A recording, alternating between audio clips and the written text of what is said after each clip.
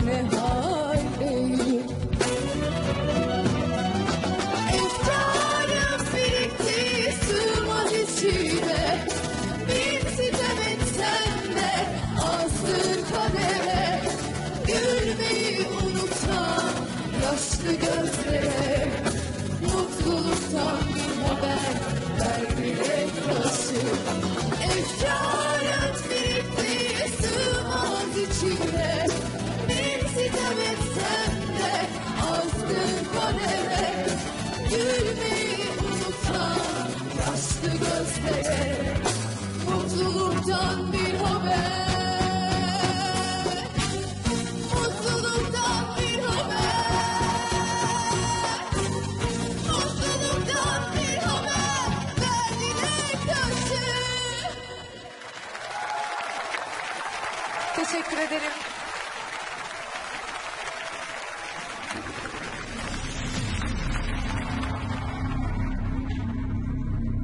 Gamze sadece 40 jüri üyesini ayağa kaldırabildi.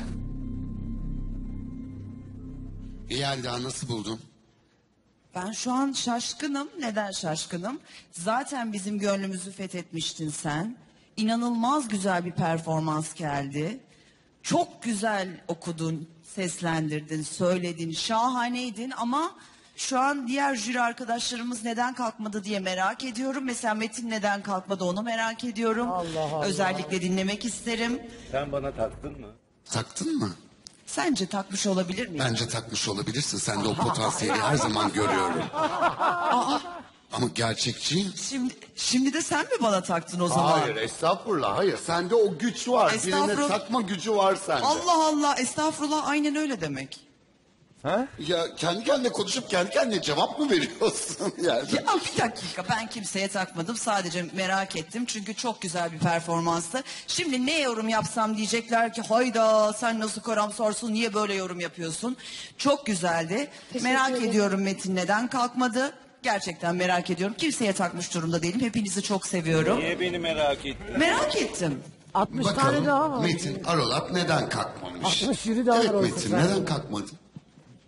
Merak ettim. Ve Merakımdan. Ben senin merakını gidermek için değil, şu sahnede heyecandan tir tir titreyen kızın merakını gidermek için konuşacağım. Kusura bakma Yelda. Çok iyiydi. Teşekkür Çok ederim. güzeldi. Sondaki o çıkışın vesaire çok güzeldi. Şimdi kendi içimizde şöyle bir duruma geldik. Ee, gerçekten en iyi sesler artık yarı final final yapıyorlar. Kusura bakma. Bu şarkının duygusunu ben başka türlü istiyorum. Yani bu kadar sert değil yani daha naif bir şarkı bu. Ee, ben bunu mesela Ayta'dan dinledim. Hatta Ayta ve Cenk bir ara içeride beraber böyle mırıldanıyorlardı. Mest oldum. Belki onun üstüne böyle gelince çok sert geldi bana. Yani ama kötü mü söyledin? Bak kötü de diyemem. Yelda sen de anlamışsındır. Ama bu şarkının anlıyorum, seni bir önceki performansınla karşılaştırdım. Bir öncekinde ben o kadar duygulanmıştım ki bunda olmadı. Bende o duygu olmadı. Herkes ses gösterme derdine girmiş gibi geliyor bana artık. Yani duyguyu mesela bir önceki arkadaş da şa üç buçuk oktav sesim var demişti. O sesi göstermek için şarkının duygusunu öldürdü. Sesim var'a gitmeye başladı. Ee, aynı şekilde mesela şu anda ikinci ligde oturan arkadaşım bir önceki performansında sesini zaten bize göstermişti. Sonra çok böyle duyguyla okudu ve onun için şimdi hepimiz ona kalktık. Böyle benim duygularım bilmiyorum.